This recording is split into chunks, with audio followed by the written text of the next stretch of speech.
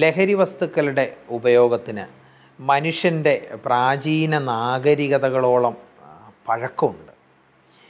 പ്രാചീന ചൈനീസ് കളിമൺ പാത്രങ്ങളിൽ നിന്ന് നമ്മൾ വൈനിന്റെ അംശം കണ്ടെത്തിയിരുന്നു. ശവകുടീരങ്ങളിൽ നിന്ന് നമ്മൾ കഞ്ചാവിന്റെ തെളിവുകൾ നമുക്ക് ലഭിച്ചിട്ടുണ്ട്. അപ്പോൾ മനുഷ്യ സംസ്കൃതിയോളം നാഗരികതകളോളം പഴക്കമുള്ള ഒന്നാണ് ലഹരി വസ്തുക്കളുടെ ഉപയോഗം. പലരും കണക്കാക്കുന്നത് നാഗരികതയുടെ ആരംഭം എന്ന് പറയുന്നത് കൃഷിയാണ്. അത് തുടങ്ങുന്നത് ഏതാണ്ട് പതിനായിരം തൊട്ട് പന്തീരായിരം വർഷങ്ങൾക്ക് മുമ്പാണ്. ഈ കൃഷിക്ക് തന്നെ അടിസ്ഥാനമായി വർത്തിച്ചത് ഈ ധാന്യങ്ങളിൽ നിന്നും പഴങ്ങളിൽ നിന്നുമൊക്കെ വാറ്റിയെടുക്കുന്ന ചില മാദകദ്രവ്യങ്ങളോടുള്ള മനുഷ്യന്റെ ഭ്രമമായിരുന്നു എന്നുള്ള നിരീക്ഷണങ്ങൾ ചില നരവംശ ശാസ്ത്രജ്ഞന്മാരെ പങ്കുവയ്ക്കുന്നുണ്ട്.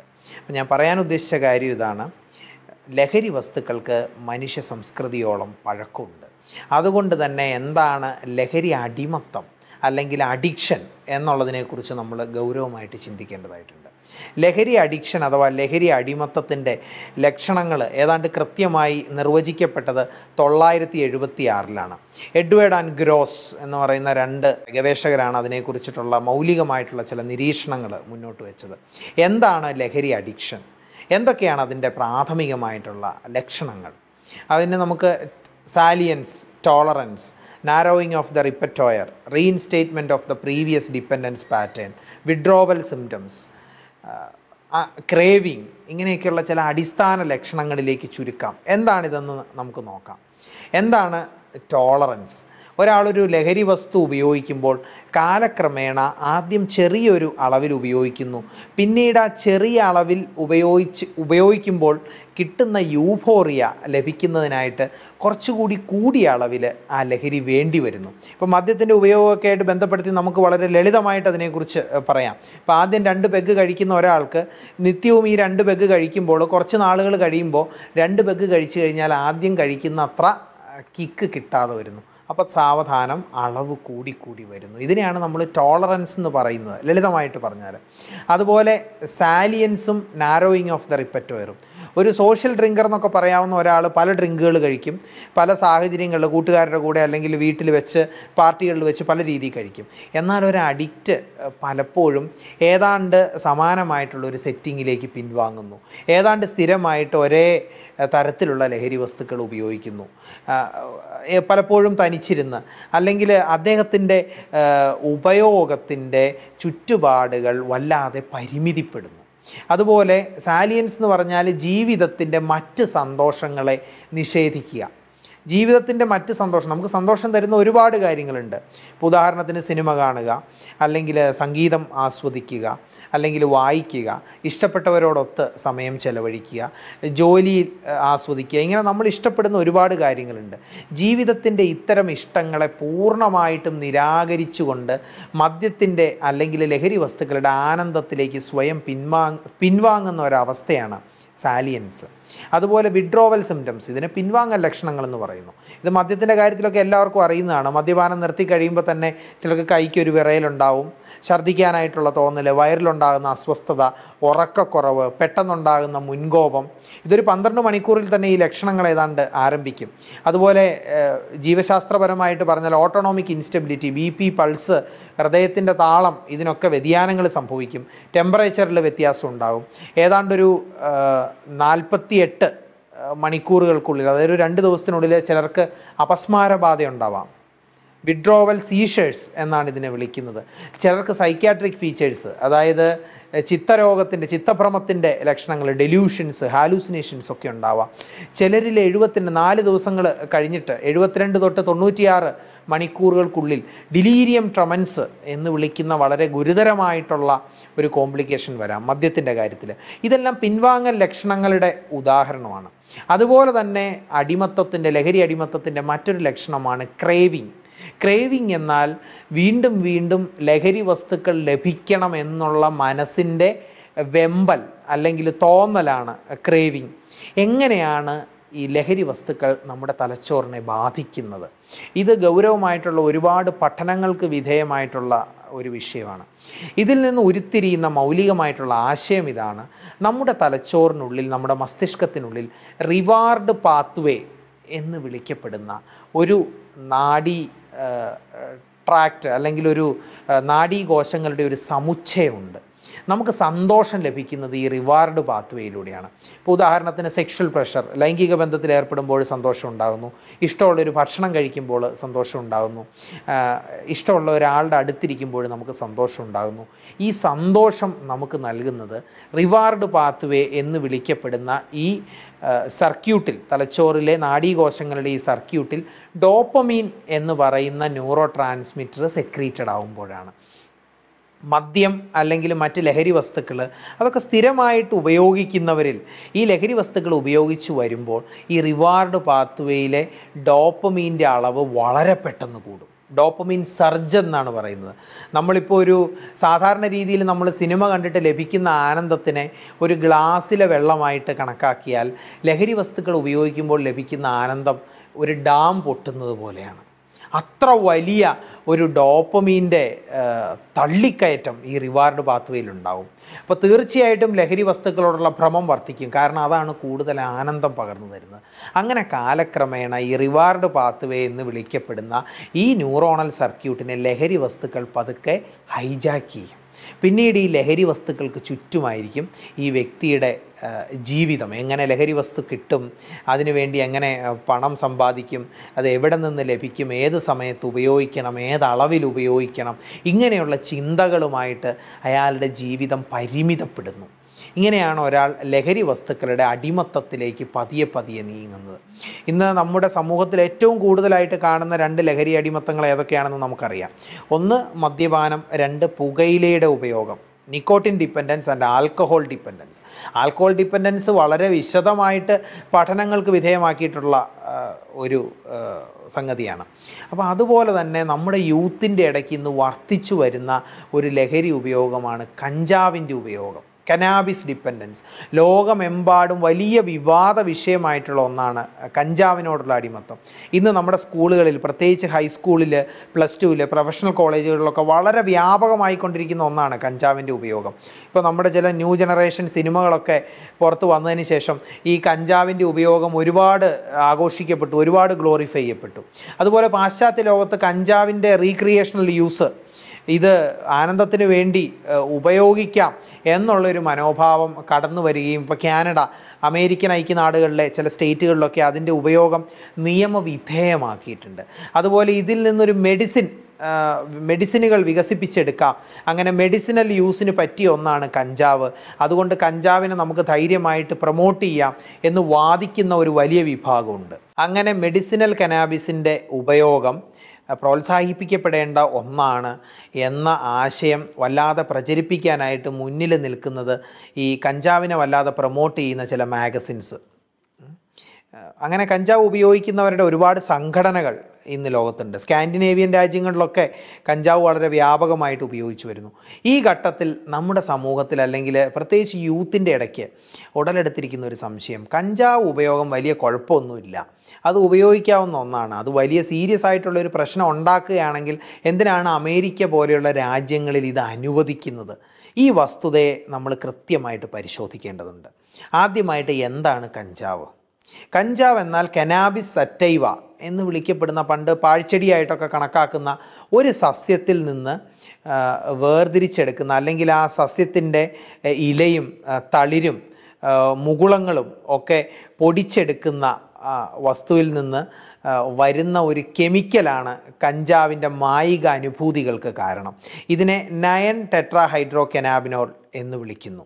ഈ നയൻ ടെട്രാ ഹൈഡ്രോ കെനാബിനോൾ എന്ന് പറയുന്ന ഈ ആക്റ്റീവായിട്ടുള്ള ഘടകം നമുക്കൊന്നെങ്കിൽ പുകച്ച് ഈ പറയുന്ന ഉണക്കി പൊടിച്ചിട്ടുള്ള വസ്തുക്കൾ പൊടിച്ചിട്ട് ഉപയോ വലിച്ചിട്ട് ഉപയോഗിക്കാം. അല്ലെങ്കിൽ ഇത് ആഹാരത്തിൽ ചേർത്ത് ഇത് എണ്ണയിൽ നന്നായിട്ട് ലയിക്കുന്ന ഒരു കെമിക്കലാണ്. ഇത് ആഹാര വസ്തുക്കളിൽ ചേർത്ത് നമുക്ക് ഉപയോഗിക്കാം ഇങ്ങനെ പ്രധാനമായിട്ടും രണ്ട് രീതിയിലാണ് കഞ്ചാവ് ഉപയോഗിക്കപ്പെടുന്നത്. എന്താണ് കഞ്ചാവ് തലച്ചോറിൽ ചെയ്യുന്നത്? നമ്മുടെ ശരീരത്തിൽ രണ്ട് റിസപ്റ്റേഴ്സ് ഉണ്ട്. റിസപ്റ്റേഴ്സ് എന്ന് പറഞ്ഞാൽ സ്വീകരണികൾ. കഞ്ചാവിന് പ്രത്യേകമായിട്ട് രണ്ട് റിസപ്റ്റേഴ്സ് ഉണ്ട്. ഇതിനെ C B one C B two എന്ന് വിളിക്കുന്നു. Endocannabinoid receptor one cannabinoid receptor two എന്നാണ് ഇത് അറിയപ്പെടുന്നത്. ഈ റിസപ്റ്റേഴ്സിനെ കുറിച്ചുള്ള പഠനം തികച്ചും അതിശയകരമായിട്ടുള്ള ഒരു നിരീക്ഷണം മുന്നോട്ട് വയ്ക്കുന്നുണ്ട്. കഞ്ചാവിനോട് സമാനമായിട്ടുള്ള ചില കെമിക്കലുകൾ നമ്മുടെ തലച്ചോർ സ്വാഭാവികമായി തന്നെ ഉൽപ്പാദിപ്പിക്കുന്നു. ഇതിനെ എൻഡോ കനാബിനോയിഡ് എന്നാണ് വിളിക്കുന്നത്. ആനന്ദമൈഡ് എന്നു പേരുള്ള ഒരു എൻഡോ കൈനാബിനോയിഡ് ഇതിൽ നിർണായകമായിട്ടുള്ള പങ്ക് വഹിക്കുന്നു. ഈ എൻഡോ കനാബിനോയിഡ്സ് നമ്മുടെ തലച്ചോറിലുള്ള ചില പ്രത്യേക സ്വീകരണികളിൽ ചില പ്രത്യേക റിസപ്റ്റേഴ്സിൽ ചെന്ന് ഇരിക്കുകയും അങ്ങനെ അതിന്റെ ഡിസൈഡ് ആയിട്ടുള്ള എഫക്റ്റുകൾ ഉണ്ടാക്കുകയും ചെയ്യുന്നു. പലപ്പോഴും വേദന സംഹാരികളായിട്ട് നമ്മുടെ ശരീരത്തിൽ ശക്തമായിട്ടുള്ള വേദന ഉണ്ടാകുമ്പോൾ എൻഡോ കനാബിനോയിഡ്സ് സെക്രീറ്റഡ് ആവും. അതുപോലെ തന്നെ കറുപ്പ് ഒരു ലഹരി വസ്തുവാണ് അതെല്ലാവർക്കും അറിയാം. ഒപ്പിയോയിഡ് എന്ന് പറയും. നമ്മുടെ ശരീരവും കറുപ്പിന് സമാനമായിട്ടുള്ള ചില കെമിക്കലുകൾ ഉണ്ടാക്കുന്നുണ്ട്. ഇതിനെ എൻഡോജീനസ് ഒപ്പിയോയിഡുകൾ എന്ന് വിളിക്കുന്നു. എൻഡോർഫിൻ അതിൽ പ്രധാനപ്പെട്ട ഒരു എൻഡോജീനസ് ഒപ്പിയോയിഡാണ് ഇതിനും നമ്മുടെ തലച്ചോറിൽ വ്യത്യസ്തമായിട്ടുള്ള സ്വീകരണികളുണ്ട്. അപ്പോൾ നമ്മൾ കഠിനമായിട്ടുള്ള വേദന അനുഭവിക്കുമ്പോൾ ഈ എൻഡോജീനസ് ഒപ്പിയോയിഡ്സും എൻഡോ കെനാബിനോയിഡ്സും ഒക്കെ നമ്മുടെ തലച്ചോറ് തന്നെ സ്വാഭാവികമായിട്ട് ഉൽപ്പാദിപ്പിക്കുന്നുണ്ട്. ഇത് നമ്മുടെ തലച്ചോറിന്റെ മനസ്സിന്റെ ആരോഗ്യകരമായിട്ടുള്ള പ്രവർത്തനത്തിന് അത്യന്താപേക്ഷിതമാണ്. ചെടികൾ പരിണാമത്തിന്റെ വഴിയിൽ നമ്മുടെ തലച്ചോർ ഉൽപ്പാദിപ്പിക്കുന്നതിനേക്കാൾ കൂടുതൽ ശക്തമായിട്ടുള്ള ചില രാസവസ്തുക്കളെ ഉൽപ്പാദിപ്പിച്ചു. അങ്ങനെയാണ് ഈ നമ്മളിന്ന് കഞ്ചാവ് എന്ന് വിളിക്കുന്ന ഈ ദ്രവ്യം ചെടിയിൽ നിന്ന് നമ്മൾ കിട്ടുന്നതായിട്ടുള്ള എൻ കെനാബി സറ്റൈവ എന്ന് പറയുന്ന ഈ സസ്യത്തിൽ നിന്ന് നമ്മൾ എടുക്കുന്ന ഈ കഞ്ചാവ് നയൻ ടെട്രാ ഹൈഡ്രോ ഈ വസ്തു നമ്മുടെ തലച്ചോറിൽ സ്വാഭാവികമായിട്ടുണ്ടാകുന്ന എൻഡോ കെനാബിനോ എൻഡോ കെനാബിനോയിഡുകളേക്കാൾ വളരെ ശക്തമായിട്ടാണ് തലച്ചോറിൽ പ്രവർത്തിക്കുന്നത്. അപ്പോൾ അതിനേക്കാളൊക്കെ പല മടങ്ങ് വലിയ എഫക്റ്റ് ഉണ്ടാക്കാൻ ഇതിന് സാധിക്കും. അപ്പോൾ അതുകൊണ്ട് തന്നെ കഞ്ചാവ് ഉപയോഗിക്കുന്ന വ്യക്തി ഈ സുഖാനുഭൂതിക്ക് വളരെ പെട്ടെന്ന് വഴിപ്പെടുകയും ഈ ലഹരിയുടെ വഴിയിലേക്ക് പോവുകയും ചെയ്യും. ഏതാണ്ട് കഞ്ചാവ് വലിക്കുന്ന ഒരാളിൽ മിനിറ്റുകൾക്കുള്ളിൽ തന്നെ അതിന്റെ എഫക്റ്റ് വന്നു തുടങ്ങും. അരമണിക്കൂറിൽ ഈ എഫക്റ്റ് അതിന്റെ പീക്കിലെത്തും. ഏറ്റവും ഉയർന്ന അവസ്ഥയിലെത്തും. ഏതാണ്ട് നാല് രണ്ട് തൊട്ട് നാല് മണിക്കൂർ വരെ ഒരാളൊരു കഞ്ചാവ് സിഗരറ്റ് അതിന് ജോയിന്റ് എന്നാണ് ഇപ്പോൾ യൂത്തിന്റെ ഇടയ്ക്കുള്ള ഒരു വാക്ക്. ജോയിന്റ് സ്റ്റിക്ക് എന്നൊക്കെ പറയും. ഈ ഒ സി ബി എന്ന് പറയുന്ന വളരെ കനം കുറഞ്ഞ ഒരു ഓയിൽ പേപ്പർ പോലെ കിട്ടുന്ന ഒരു പേപ്പറിൽ ചുരുട്ടിയിട്ടാണ് ഇത് ഉപയോഗിക്കുന്നത്. ഇങ്ങനെ ഒരു സ്റ്റിക്ക് അല്ലെങ്കിൽ ഒരു ജോയിന്റ് ഉപയോഗിച്ചാൽ ഏതാണ്ട് ഒരു രണ്ട് തൊട്ട് നാല് മണിക്കൂർ വരെ അതിന്റെ എഫക്റ്റ് നീണ്ടു നിൽക്കും. അപ്പോൾ ഈ എഫക്റ്റിന് വേണ്ടി ആളുകൾ ഇത് വീണ്ടും വീണ്ടും വലിക്കുന്നു. എന്താണ് കഞ്ചാവ് നമ്മുടെ യുവജനങ്ങളുടെ ഇടയിൽ അല്ലെങ്കിൽ കഞ്ചാവിന് അടിമകളായിട്ടുള്ള വ്യക്തികളിൽ ചെയ്യുന്നത്? ഇതിൽ പ്രധാനപ്പെട്ട രണ്ട് കാര്യങ്ങൾ നമ്മൾ കണക്കിലെടുക്കേണ്ടതുണ്ട്. ഒന്ന് എമോട്ടിവേഷൻ സിൻഡ്രോം മോട്ടിവേഷൻ എന്ന് പറഞ്ഞാൽ പ്രചോദനം. എമോട്ടിവേഷൻ എന്ന് പറഞ്ഞാൽ പ്രചോദനമില്ലായ്മ എമോട്ടിവേഷൻ ജീവിതത്തിന്റെ പ്രചോദനത്തെ അത് നഷ്ടപ്പെടുത്തും. നമ്മൾ ഉയരങ്ങളിലേക്ക് പോകണമെങ്കിൽ നമ്മൾ പലപ്പോഴും പല പ്രവർത്തികളിലും കോൺസെൻട്രേഷനോട് കൂടിയിട്ട് കുറച്ച് നേരം വ്യാപരിക്കേണ്ടതായിട്ട് വരും. ഇങ്ങനെ സ്ഥിരമായിട്ട് കോൺസെൻട്രേറ്റ് ചെയ്ത് ചെയ്യേണ്ടതായിട്ടുള്ള കാര്യങ്ങൾ കൃത്യമായിട്ട് ചെയ്യാൻ കഞ്ചാവ് ഉപയോഗിക്കുന്ന വ്യക്തികളിൽ സാധിക്കില്ല. അവരിൽ എമോട്ടിവേഷൻ സിൻഡ്രോം ജീവിതത്തിന്റെ പ്രചോദനം എടുത്തു കളയുന്നതായിട്ടുള്ള ഒരവസ്ഥ വന്നു ചേരാം. ഇത് കൂടാതെ വളരെ പ്രധാനപ്പെട്ട ഒരു കാര്യം സ്കീസോഫ്രീനിയ അഥവാ ചിത്തഭ്രമ രോഗം അതുപോലെ ബൈപ്പോളാർ ഡിസോർഡർ അഥവാ ഉന്മാദ വിഷാദ രോഗം ഇങ്ങനെയുള്ള വളരെ ഗുരുതരമായിട്ടുള്ള മനോരോഗങ്ങൾ വരാൻ ജനിതകമായി സാധ്യതയുള്ളവരാണ് നമ്മുടെ സമൂഹത്തിലെ വലിയൊരു വിഭാഗം. ഇപ്പോൾ സ്കീസോഫ്രീനിയ അഥവാ ചിത്തഭ്രമ രോഗം നമ്മുടെ സമൂഹത്തിൽ ഒരു ശതമാനം ആളുകളിലുണ്ട്. ബൈപ്പോളാർ ഡിസോർഡർ ഏതാണ്ട് രണ്ട് തൊട്ട് നാല് ശതമാനം ആളുകളിലുണ്ട്. അതിനേക്കാൾ എത്രയോ കൂടുതലായിരിക്കും ആ അസുഖം വരാൻ സാധ്യതയുള്ള ജനിതകമായിട്ട് അതിന്റെ ജീനുകൾ പേറുന്ന വ്യക്തികൾ. അവർ കഞ്ചാവ് ഉപയോഗിക്കുമ്പോൾ പലപ്പോഴും ഈ രോഗങ്ങൾ വളരെ പെട്ടെന്ന് അൺമാസ്ക് ചെയ്യുന്നു. മറ നീക്കി പുറത്തു വരുന്നു. പലപ്പോഴും നമ്മുടെ കുട്ടികൾ കുട്ടികൾ കൗമാരകാലത്ത് അല്ലെങ്കിൽ ഇപ്പോൾ പത്താം ക്ലാസ്സിലോ പ്ലസ് ടുവിലോ ഒക്കെ പഠിക്കുന്ന സമയത്ത് കൃത്യമായിട്ട് അവർ അവരുടെ അക്കാഡമിക്സ് ശ്രദ്ധിച്ചില്ലെങ്കിൽ അവർ ജീവിതത്തിൽ നമ്മുടെ ഇന്നത്തെ സാമൂഹ്യ സാഹചര്യത്തിൽ അവർ മുന്നോട്ട് പോകില്ല പത്താം ക്ലാസ്സിലും പ്ലസ് ടുവിലും മാർക്കില്ലാത്ത ഒരു കുട്ടി നല്ലൊരു കോഴ്സിന് അവൻ അഡ്മിഷൻ കിട്ടില്ല. നല്ലൊരു കരിയർ അവനുണ്ടാവില്ല അങ്ങനെ നമ്മുടെ സമൂഹത്തിന്റെ ഭാവി മനുഷ്യവിഭവത്തെ അല്ലെങ്കിൽ ഏറ്റവും കൂടുതൽ ഓജസ്സും തേജസ്സും ഉള്ള നമ്മുടെ രാജ്യത്തിന്റെ ഭാവി പൗരന്മാരെ തകർത്ത് കളയുന്ന ഒരു വലിയ സാമൂഹ്യ വിപത്താണ് കഞ്ചാവ്. ഇപ്പോൾ കഞ്ചാവ് രോഗിയായിട്ട് അല്ലെങ്കിൽ കഞ്ചാവിന്റെ അടിമത്വമായിട്ട് ഒരാൾ ഡോക്ടറുടെ അടുത്ത് എത്തിക്കഴിഞ്ഞാൽ അതിനേക്കാൾ എത്രയോ മടങ്ങായിരിക്കും നമ്മുടെ അടുത്ത് എത്താത്ത കഞ്ചാവ് ഉപയോഗിക്കുന്ന ആളുകൾ. ഏതാണ്ട് അതിന്റെ ഒരു പത്തോ പതിനഞ്ചോ മടങ്ങ് വരും. ഈ പ്രതിഭാസത്തിനെ ടിപ്പ് ഓഫ് ദി ഐസ്ബർഗ് ആ, വൈദ്യശാസ്ത്രം വിളിക്കുന്നത്. ഈ ടിപ്പ് ഓഫ് ദ ഐസ്ബർഗ് എന്ന് പറഞ്ഞാൽ നമ്മൾ കടലിലൂടെ കപ്പലോടിക്കുന്ന നാവികർ വലിയ ഹിമാനികളുടെ അറ്റം വെള്ളത്തിന് മുകളിൽ പൊങ്ങി നിൽക്കുന്നതാണ്. നമ്മുടെ ടൈറ്റാനിക്കൊക്കെ ഇടിച്ചു മുങ്ങിയ മഞ്ഞ് മല പോലെ. ഒരു ചെറിയ ടിപ്പ് മാത്രമേ മുകളിലുണ്ടാവൂ. പക്ഷേ ഈ ചെറിയ ഒരു ടിപ്പ് ഈ മഞ്ഞുമലയുടെ ഒരു ടിപ്പ് മുകളിൽ കാണുന്ന ഒരു എക്സ്പീരിയൻസ്ഡ് ആയിട്ടുള്ള ഒരു നാവികൻ അദ്ദേഹത്തിന് വളരെ വ്യക്തമായിട്ടറിയാം. ഒരു വലിയ മഞ്ഞുമലയുടെ അഗ്രമാണത്. അതിനടിയിലേക്കൊരു വലിയ മഞ്ഞുമലയുണ്ട് എന്ന്. അതുപോലെ ഒരു കേസ് നമ്മുടെ അടുത്തെത്തുമ്പോൾ നമുക്ക് വളരെ വ്യക്തമായിട്ടറിയാം. ഇതിന് സമാനമായിട്ടുള്ള തുല്യതയുള്ള ഒരുപാട് കേസുകൾ ഈ രോഗിയുടെ ചുറ്റുമുണ്ടെന്ന് tip of the iceberg phenomenon എന്നത് വിളിക്കപ്പെടുന്നു. ഇത് കഞ്ചാവിന്റെ കാര്യം. ഇതുപോലെ തന്നെ നിരവധിയായിട്ടുള്ള പുതിയ മയക്കുമരുന്നുകൾ. ഇത് പുതിയ മയക്കുമരുന്നുകൾ എന്ന് പറഞ്ഞുകൂടാ. നമ്മുടെ യൂത്തിനിടയിലേക്ക് ഇതൊക്കെ ഇൻട്രൊഡ്യൂസ് ചെയ്യപ്പെട്ടിട്ട് അധികം നാളായിട്ടില്ല. ഉദാഹരണത്തിന് മാജിക് മഷ്റൂം സൈലോസൈബിൻ എന്ന് പറയുന്ന വളരെ പൊട്ടന്റായിട്ടുള്ള ഒരു ഹാലൂസിനോജനാണ് ചില കൂണുകളിലുള്ളത്. ഈ കൂണുകൾ പാകം ചെയ്ത് കഴിക്കുക അല്ലെങ്കിൽ പച്ചയ്ക്ക് കഴിക്കുക. അതുപോലെ L S D lysergic acid diethylamide എന്ന് പറയുന്ന മനുഷ്യർ കണ്ടുപിടിച്ചിട്ടുള്ളതിൽ വെച്ച് ഏറ്റവും പൊട്ടന്റ് ആയിട്ടുള്ള ഹാലൂസിനോജൻ ഏതാണ്ട് വളരെ ചെറിയ അളവിൽ കഴിച്ചാൽ തന്നെ നിങ്ങളുടെ തലച്ചോറിനുള്ളിൽ സ്ഫോടനാത്മകമായിട്ടുള്ള വ്യത്യാസങ്ങൾ ഉണ്ടാക്കാൻ കഴിവുള്ള ഒന്നാണ് എൽ എസ് ഡി ഈ എൽ എസ് ഡി ചില സ്റ്റാമ്പുകളിൽ ഒക്കെ തേച്ചാണ് നമ്മുടെ യൂത്തിന്റെ ഇടയ്ക്ക്. അത് സ്റ്റാമ്പ് നാവിന്റെ അടിയിൽ വെച്ച് കഴിഞ്ഞാൽ ഏതാണ്ട് ഒരു പന്ത്രണ്ട് മണിക്കൂർ തൊട്ട് ഇരുപത്തിനാല് മണിക്കൂർ വരെ അതിന്റെ എഫക്റ്റ് നീണ്ടു നിൽക്കും. നിങ്ങളുടെ തലച്ചോറ് രണ്ടായിട്ട് പൊട്ടിപ്പിളരുന്നതായിട്ടും നിങ്ങൾ നിങ്ങളുടെ പുറത്ത് നിൽക്കുന്നതായിട്ടും നിങ്ങളുടെ ചുറ്റും നിറങ്ങൾ വെട്ടിത്തിളങ്ങുന്നതായിട്ടും അല്ലെങ്കിൽ ചിലപ്പോൾ ചിലർക്ക് വളരെ പാരനോയ്യ എന്ന് വിളിക്കപ്പെടുന്ന മറ്റുള്ളവർ നമ്മളെ ഉപദ്രവിക്കാൻ വരികയോ പിന്തുടരുകയോ ചെയ്യുന്നത് പോലെ വളരെ മോശമായിട്ടുള്ളൊരു അനുഭവം ഉണ്ടാവാം. ചിലർക്ക് ദൈവത്തോട് വളരെ അടുത്ത് നിൽക്കുന്നു എന്ന് തോന്നുന്ന രീതിയിലുള്ള വല്ലാത്തൊരു ബ്ലിസ് ഉള്ള ഒരു അനുഭവം ഉണ്ടാവാം. ഇങ്ങനെ മനുഷ്യന്റെ തലച്ചോറിനെ മാറ്റി തീർക്കുന്ന അല്ലെങ്കിൽ കുഴച്ച് കുഴച്ചു മറിക്കുന്ന ഒരുപാട് ലഹരി വസ്തുക്കൾ ഇന്ന് നമ്മുടെ സമൂഹത്തിൽ ഉപയോഗിക്കുന്നുണ്ട്. ഇതിൽ കഞ്ചാവിന്റെ ഉപയോഗം വളരെ എടുത്തു പറയേണ്ട ഒന്നാണ്. കഞ്ചാവിനെ ശരിക്കും ഗ്ലോറിഫൈ ചെയ്യുക എന്ന് പറയുന്നത് തന്നെ ഒരു വലിയ സാമൂഹ്യ തിന്മയാണ് എന്നാൽ കഞ്ചാവിലെ ചില ഘടകങ്ങളെ മാത്രം വേർതിരിച്ചെടുത്ത് പ്രത്യേക ഔഷധങ്ങളായി ഉപയോഗിക്കാം. ഉദാഹരണത്തിന് എപ്പിലെപ്സി അപസ്മാരം അതുപോലെ നമ്മുടെ ക്യാൻസർ രോഗികളിൽ ഉണ്ടാകുന്ന ഛർദിയെ തടയുന്നതിന് മനംപുരട്ടലിനെ തടയുന്നതിനാവശ്യമായിട്ടുള്ള ഔഷധം ഇങ്ങനെ പല രീതിയിൽ കഞ്ചാവിൽ നിന്നുള്ള ചില ഘടകങ്ങളെ മാത്രം വേർതിരിച്ചെടുത്ത് നമുക്ക് ഔഷധങ്ങൾ നിർമ്മിക്കാം.